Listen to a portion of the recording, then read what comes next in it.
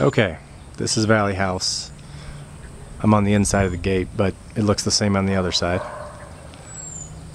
This is the front part of the grounds, which is looking a little dry because of the um, the uh, you know the drought that they had recently.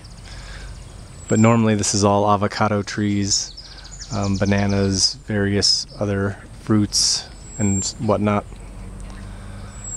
And this is the house.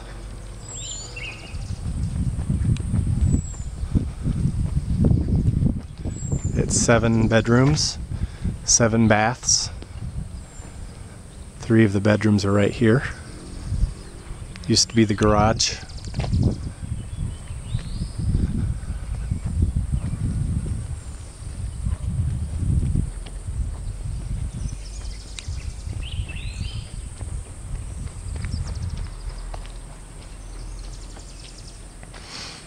This is the entryway, dining room, living room area. That's the master bedroom where we stay. There's another bedroom there and a couple in the back.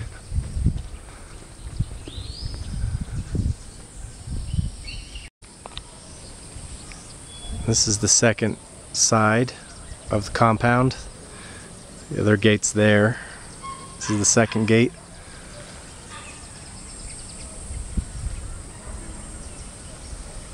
Another driveway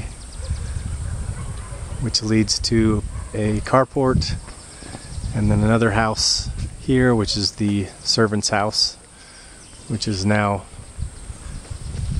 where Nathaniel's parents live while they rent out the big house.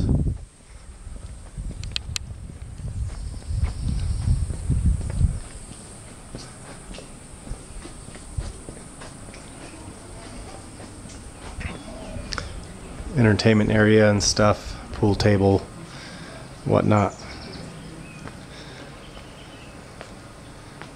And then back here is the water tanks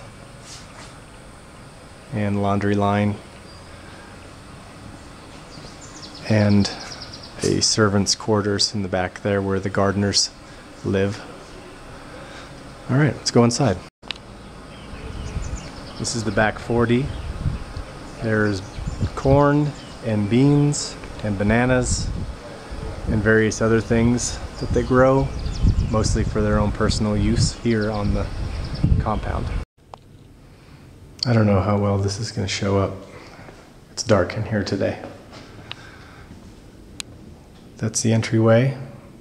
Here's the dining and living area. Sorry about that.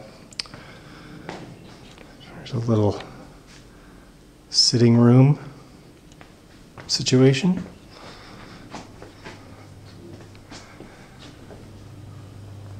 The kitchen. Large enough to have a lot of floor space for cooking meals for up to 300 people at a time.